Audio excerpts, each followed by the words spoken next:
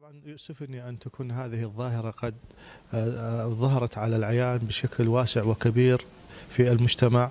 آه، السبب يعني هو إذا صح القول من أمن العقاب ساء الادب فيا ريت أن يكون هناك عقوبات صارمة بحق كل من يحاول أن يهدد كيان أسرة أو شخص بهذه الممارسات ال- الغير عقلانية التي بدأت تطفو على مستوى مجتمعنا الموصلي المحافظ وأن هذه الممارسات جاءت بسبب عدم وجود عقوبات آه، تحد من هذه الظاهرة.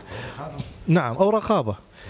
حقيقة يعني شبكات التواصل الاجتماعي وأجهزة الموبايلات وجدت لخدمة الناس وخدمة المجتمع.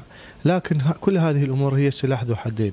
وهناك من يسيء استخدام هذه ال ال ال الأمور لمآرب لربما تعد مآرب يعني شخصية أو تصفية حسابات أو لغرض آه، مثل ابتزاز الناس بالمقابل أموال.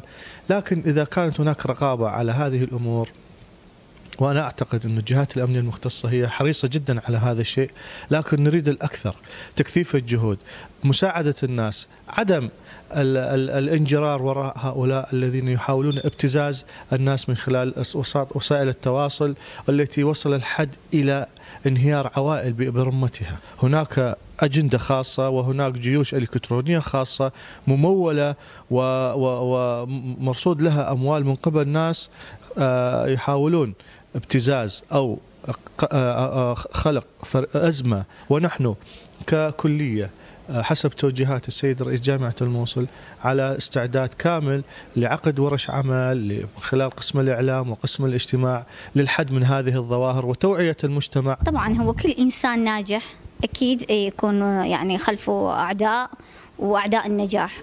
فدائما ال- الإنسان الناجح دائما يبحثون خلفه إنه عمليات تسقيط فأكيد يحاولون بعمليات الابتزاز أو غيره إنه يسقطون هذا ال- الشخص الناجح المدير.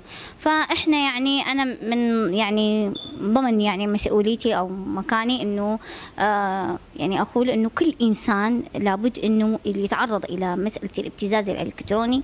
يعني انه هناك آه دوائر يعني مثل عندنا الأمن الوطني الشرطه المجتمعية آه نحاول إنه نبلغ حتى نقضي على هاي عملية الابتزاز. أي خبر آه، ينزل إنه ما ما كل الأخبار صحيحة. فأكيد إنه أكو آه، أخبار خاطئة أو أخبار إنه تحاول إنه تعمل عمليات تسقيط للشخص أو المسؤول المعين. وأنا يعني أطلب من الجميع إنه إحنا نتأكد من هاي الصفحات.